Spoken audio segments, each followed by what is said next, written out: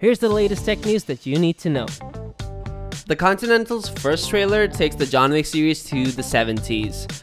The prequel series starts streaming in September.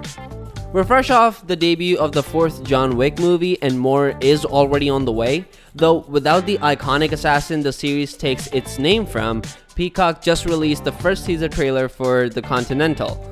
Full name The Continental from the World of John Wick, a prequel series that explores the history of the titular hotel, which plays a big part in the Wick mythology. Subscribe for more awesome tech news. That's one minute. See you tomorrow.